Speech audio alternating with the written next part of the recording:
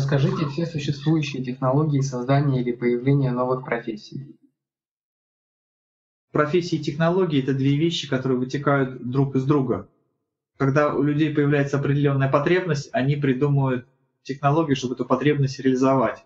Чтобы эту потребность реализовать, появляется профессия, которая осваивает ту или иную технологию. Часть технологий дается свыше, часть технологий люди изобретают сами, но технологии даются тогда, когда люди готовы к этим технологиям. Иногда некоторые технологии принципиально, принципиально нельзя давать тем или иным группам сообществ в связи с неадекватностью их мышления и незрелостью их сознания. И вещи, которые могли бы приносить пользу окружающему миру, становятся очень опасными.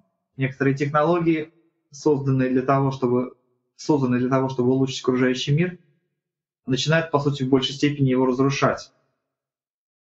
Та профессия может быть изобретена, и понятие профессии, если не считать основные уровни, основные ниши человеческого общества, является вещью выдуманной. Есть основные профессии, которые связаны с производством продукта, его сохранением,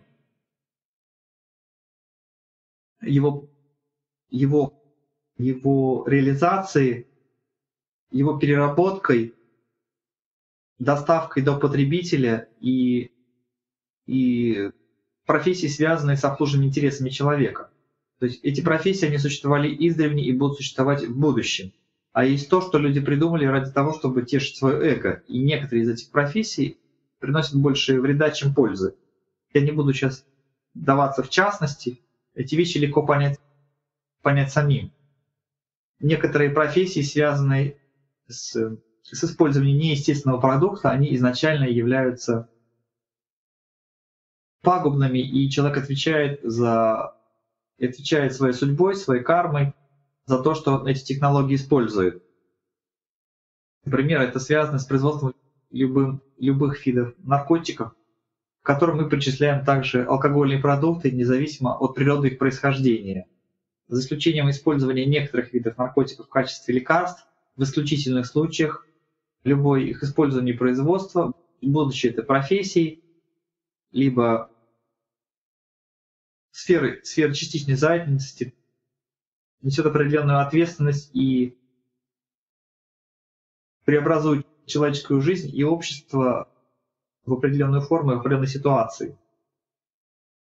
Профессия создается тогда, когда человек видит, что необходимо решить ту или иную проблему. И для этого находится кто-то, кто способен заниматься этой деятельностью. Из, э, из той или иной технологии можно для освоения той или иной технологии может быть создано то или иное количество профессий. И та или иная профессия может использовать то или иное количество технологий. Говорить об этих вещах целесообразно, адресно. Касаясь какой-то конкретного образа жизни человека и каких-то конкретных потребностей. Любая человеческая профессия должна решать проблемы человеческого человеческого образа жизни и помогать человеку развиваться и поддерживать его жизнедеятельность.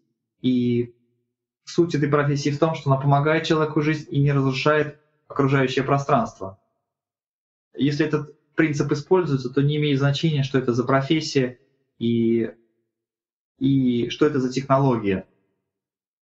Любая профессия, любая технология может иметь как положительный потенциал, так и отрицательный, в зависимости от вектора, в котором она направлена как солдат, который может защищать и может нападать. Может быть бандитом, или может быть защитником. Как только разговор идет про какие-то неестественные формы человеческой жизни, какие-то неестественные потребности, из этих неестественных форм вырастают неестественные профессии и неестественные технологии. Например, вы используете двигатель внутреннего сгорания, который в принципе является неестественным. И все профессии, связанные с его производством, переработкой, организацией, разработкой, связаны с несением кармы и ответственности. Каждый, кто использует эту технологию, за это платит в той или иной степени, исходя из пропорций. На полевом уровне так называемые штрафы, либо компенсацию.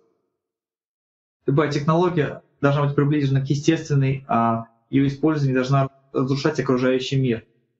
Важна сама идея. Если эта идея разумная, и вы относитесь к окружающему миру как части, части своего существа, как части своего, своего дома, когда окружающий мир не что-то отдельное от вас, а часть, часть вашего существа. То есть все, что вы изобретаете, профессии, технологии,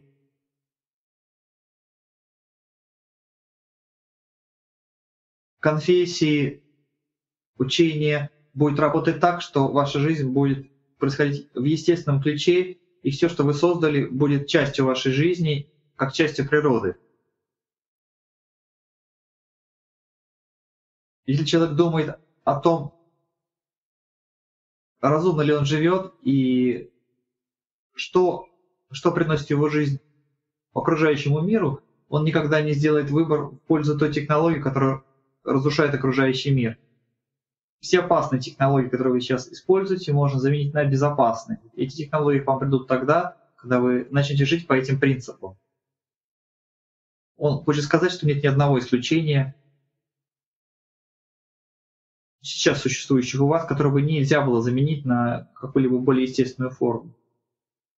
thank you